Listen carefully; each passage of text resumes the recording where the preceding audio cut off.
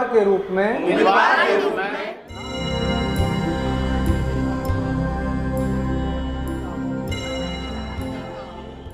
उम्मीदवार के रूप में सत्य निष्ठा से सत्यनिष्ठा से प्रतिज्ञा करता हूँ कि प्रतिज्ञा करता हूँ कि मैं मैं विधि द्वारा विधि द्वारा स्थापित स्थापित भारत के संविधान भारत के संविधान के प्रति सच्ची श्रद्धा सच्ची श्रद्धा और निष्ठा रखूँगा। और निष्ठा रखूँगा। मैं भारत की मैं भारत की प्रभुता प्रभुता और अखंडता और अखंडता अक्षुण रखूँगा। तथा मैं जिस पद को मैं ग्रहण करने वाला हूँ ग्रहण करने वाला हूँ उसके कर्तव्यों का उसके कर्तव्यों का श्रद्धापूर्वक करूँगा करूँगा। श्रद्धापूर्वक निर्वाहन करूँगा। जय हिंद। जय हिंद।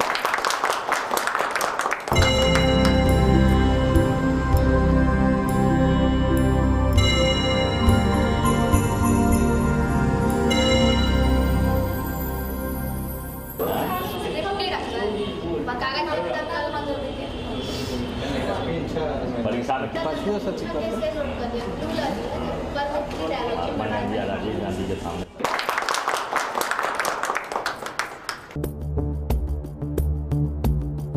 अब मैं जिला पंचायत पदाधिकारी से आग्रह करना चाहूँगा कि वे अपना उद्गार व्यक्त करें। ग्राम कचहरी और इसके न्यायपीठों के अध्यक्ष सभी सरपंच भाई बहनों का आज के प्रशिक्षण शिविर में हार्दिक स्वागत है।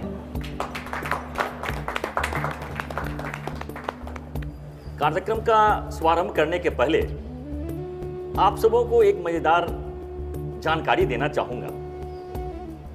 अपने बिहार प्रांत को छोड़कर भारत के सभी प्रांतों की ग्राम पंचायतों में सिर्फ़ सरपंच या ग्राम प्रधान का एक ही पद होता है। सिर्फ़ एक।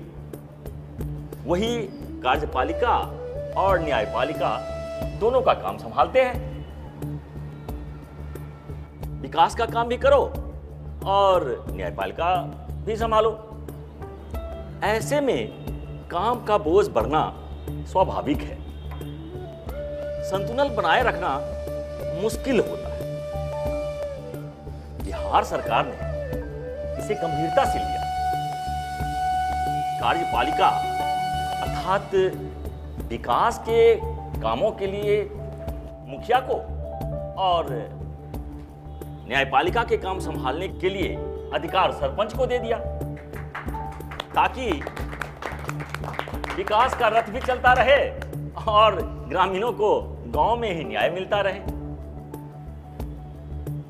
इस विशेष जानकारी के बाद प्रशिक्षण के कार्य को आगे बढ़ाएँगे प्रखंड विकास पदाधिकारी। सरपंच भाइयों और बहनों स्वाभाविक है सरपंच चुने जाने के बाद आपके मन में कई जिज्ञासाएँ होगी। तो आपकी जिज्ञासा और हमारा उत्तर से प्रारंभ करते हैं। एक एक करके उठिए और पूछिए अपने मन की बातें। अच्छा ग्राम कचहरी के संचालन के लिए कौन सी जगह उचित होगी वीडियो साहब? ग्राम कचहरी अपना काम ग्राम पंचायत भवन में कर सकती है। जहाँ पंचायत भवन का निर्माण नहीं हो सका या पंचायत भवन में स्थान का अभाव है वहाँ पाँच सौ रुपये माहवारी भुगतान के शर्त पर किराए के घर में ग्राम कचहरी चलाई जा सकती है। हमें कानून की जानकारी तो है नहीं फिर हमें कानून की जानकारी कहाँ से हो सकेगी? इसका उत्तर जिला पंचायत पदाधिकारी महोदय दें। इस बाबत आपकी सहायता के लिए कानून के जानकार एक न्याय मित्र होंगे जिनकी नियुक्ति सरकार करेगी। वे आपको विधि सम्मत राय देते रहेंगे। ग्राम कचहरी में दायर मुकदमा संबंधी कागज़ पत्र खाता बही आज का रख रखाव कौन रखेगा? इसके लिए आपके अधीन एक कचहरी सचिव होंगे जिनकी योग्यता कम से कम मैट्रिक पास होनी चाहिए। सरकार के द्वारा निर्धारित वेतन इन्हें मिलेगा। सम्मन जारी करना जुर्माना राशि की पावती रसीद देना या पत्राचार करना तो ये सभी काम कचहरी सचिव ही करेगा। हमें मोटे तौर पर यह तो मालूम है कि ग्राम कचहरी में दायर किए गए मुकदमे को पहले सुलह सफ़ाई से निपटने की कोशिश करेंगे। अगर ऐसा नहीं हुआ तो? तो पाँच पंच मिलकर दूध का दूध और पानी का पानी कर दीजिए। लेकिन पाँच पंचों में एक पंच महिला ज़रूर होगी। अगर फैसला शिकायतकर्ता या अभियुक्त को मान्य न हो तो?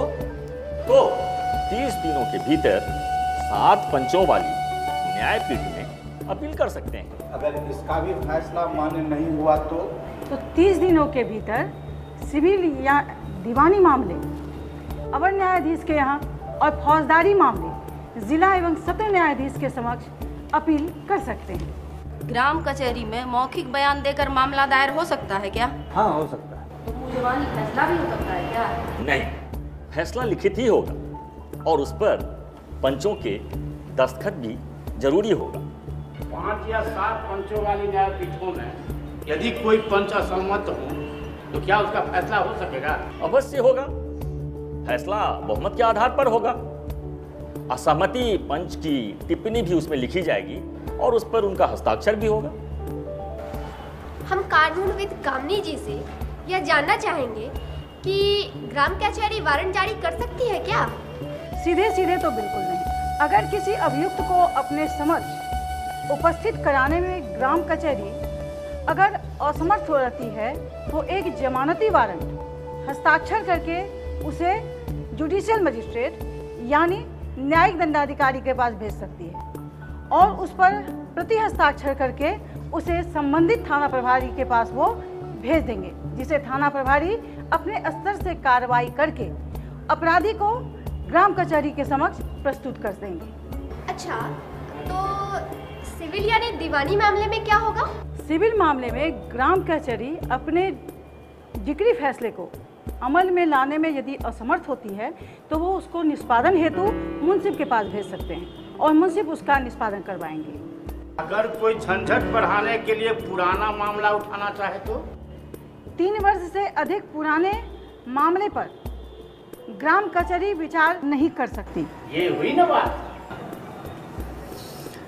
जिज्ञासा सत्र समाप्त हुआ। अब आप कानूनी और संगठनात्मक जानकारी को बढ़ाने के लिए ये फ़िल्म देखिए।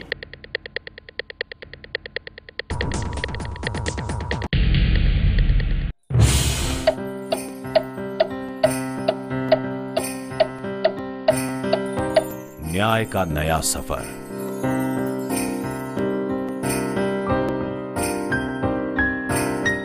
उच्चतम न्यायालय से ग्राम पंचायत की ग्राम कचहरी तक।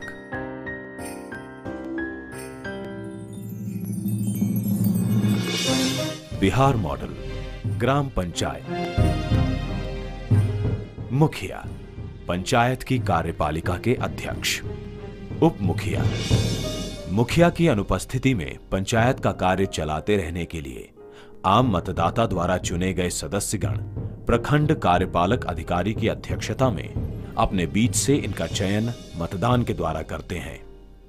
पंचायत सचिव, सरकारी सेवक, सरपंच, ग्राम कचहरी में न्यायपालिका के अध्यक्ष, उप सरपंच। सरपंच की अनुपस्थिति में ग्राम कचहरी का कार्य चलाते रहने के लिए आम मतदाता द्वारा चुने गए सभी पंच, प्रखंड कार्यपालक पदाधिकारी की अध्यक्षता में अपने बीच से ही इनका चयन मतदान के द्वारा करते हैं। न्याय मित्र कानूनी मामले के जानकार। इनकी नियुक्ति प्रांतीय सरकार जिला स्तर से करती है।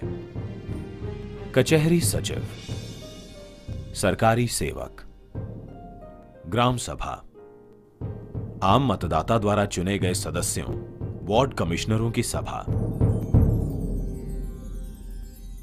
महिलाओं के लिए आरक्षित ग्राम पंचायत की सरपंच गंगा देवी। एक सरजमीनी जाँच के लिए निकल पड़ी हैं।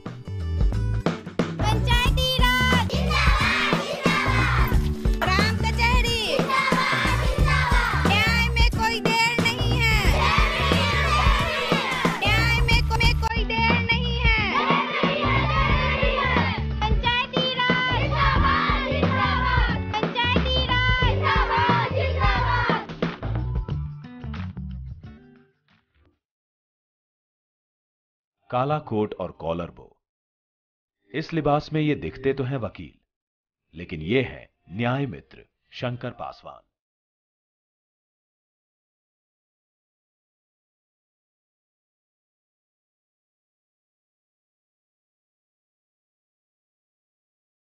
न्याय मित्र जो ग्राम कचहरी में सरपंच की कानूनी सहायता करते हैं।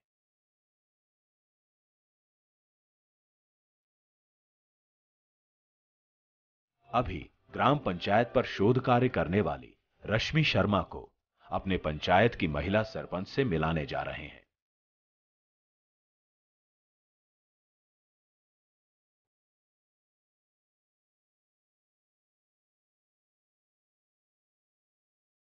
सरपंच साहिबा की प्रतीक्षा में चर्चा चल पड़ी। न्याय मित्र के अधिकार और कर्तव्य के बारे में तथा ग्राम कचहरी के बारे में। शंकर जी आप बताइए न्याय मित्र का काम क्या क्या होता है? ग्राम कचहरी या इसके द्वारा गठित बेंचों के कर्तव्यों के पालन में न्यायोचित सहायता करता है। अच्छा पंच और सरपंच दोनों के क्या क्या अधिकार हैं? ग्राम कचहरी या गठित बेंचों की अध्यक्षता करना और पीड़ित पक्ष के आवेदन या पुलिस के प्रतिवेदन पर पूरे मामले की सुनवाई करना। पर इसमें कचहरी जैसी क्या बात है? है ना मैडम?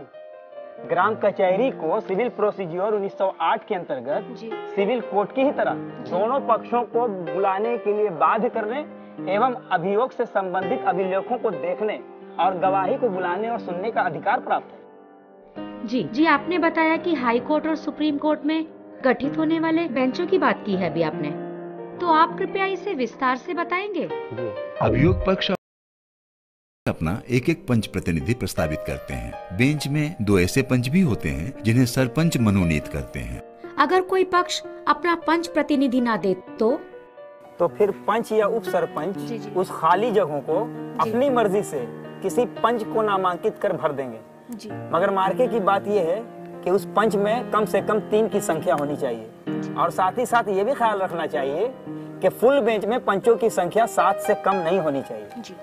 आम लोगों की जानकारी के लिए कृपया हमें ये बताइए कि इंडियन पिनाल कोड 1807 की किन किन धाराओं पे ग्राम कचहरी अपना फैसला ले सकती है धारा 140, 142, 143, 145, 147, 151, 153, 160, 172, 174, 178, 179, दो सौ उनहत्तर दो सौ तिरासी, दो सौ पचासी, दो सौ छियासी, दो सौ नवासी, दो सौ नब्बे, दो सौ चौरानवे, दो सौ चौरानवे ए, तीन सौ तेईस, तीन सौ चौंतीस, तीन सौ छत्तीस, तीन सौ इकतालीस, तीन सौ बावन, तीन सौ छप्पन, तीन सौ अट्ठावन, तीन सौ चौहत्तर, चार सौ तीन, चार सौ छब्बीस, चार सौ अट्ठाईस, चार सौ तीस चार सौ सैतालीस चार सौ अड़तालीस पाँच सौ दो पाँच सौ चार पाँच सौ छ और पाँच सौ दस। और इसके अलावा? बंगाल पब्लिक गैमलिंग एक्ट अठारह के तहत किए गए जुर्म और धारा 24 और 26 के अंतर्गत कैटल ट्रेसपास एक्ट 1871 के अंतर्गत किए गए जुर्म पर भी ग्राम कचहरी फैसला ले सकती है। इस एक्ट के बनने के पहले से ही अदालतों में इन्हीं धाराओं के अंतर्गत लंबित किसी मामले की सुनवाई ग्राम कचहरी में करवाई जा सकती है क्या? बिल्कुल नहीं।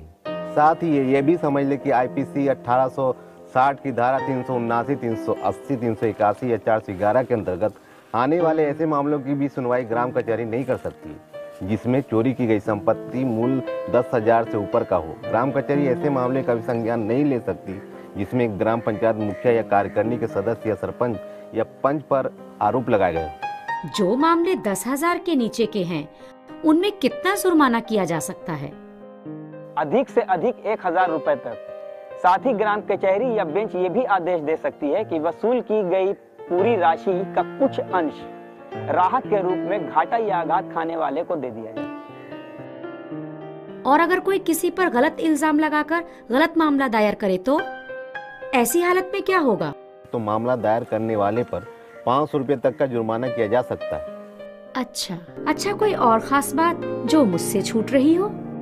जी हाँ अगर सरपंच को पूर्ण विश्वास है कि किसी कारण से शांति भंग हो सकती है या जनजीवन में उथल पुथल हो सकता है और इसे रोकने के लिए अविलंब प्रतिकार या फौरी कार्रवाई की आवश्यकता है तो वह बिना किसी लिखित या मौखिक सूचना के किसी भी व्यक्ति को उपस्थित या संपत्ति का स्थानांतरण न करने और शांति बनाए रखने का आदेश दे सकती है। कोई और खास बात? जी हाँ।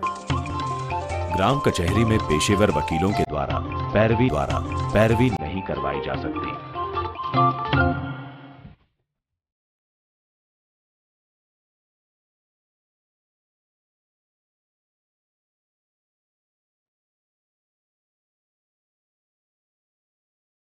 ग्राम कचहरी की महिला पंचों के साथ सरजमीनी जाँच कर लौटती सरपंच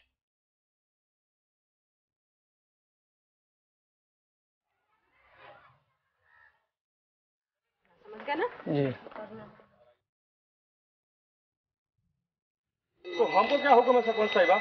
अरे हुकुम क्या है? पंचायत में पाँच सौ रूपया जाके जमा कर दो और रसीद ज़रूर ले लेना। अपने बच्चे को समझा देना कि अगली बार से ये गलती ना करे। नहीं तो फिर हम थाना भेज देंगे। और थाना जब भेज देंगे ना तो फिर कोई बचाने वाला नहीं मिलेगा। समझ गए? नहीं फिर ऐसी गलती नहीं होगी। ठीक है जाओ। जी प्रणाम। सरपंच साहिबा हमारे घर का रास्ता छुड़ाइए आप। अच्छा ठीक है। तुरंत आ रहे हैं और तुम्हारा फैसला करते हैं। ठीक है ठीक प्रणाम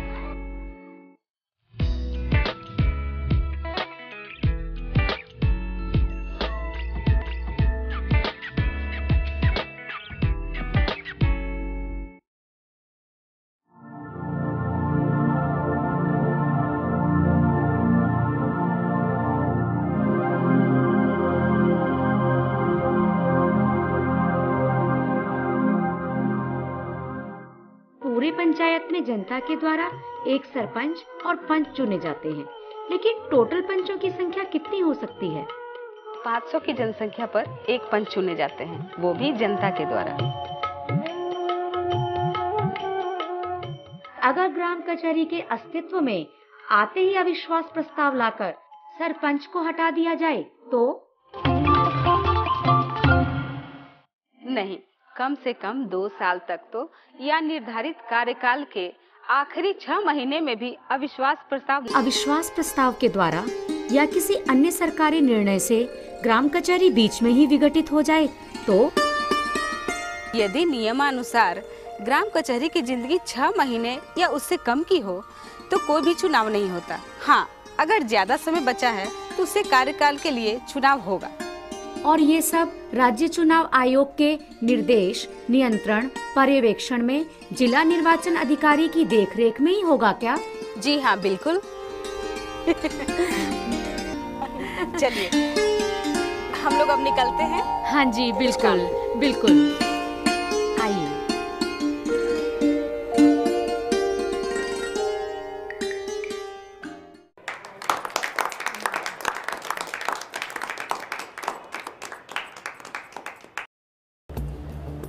समझता हूँ कि आप लोगों को अपने कार्य संचालन के लिए आवश्यक जानकारियाँ